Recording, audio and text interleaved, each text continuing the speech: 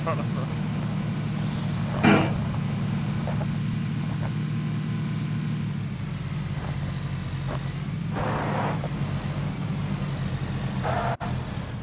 Oh my gosh!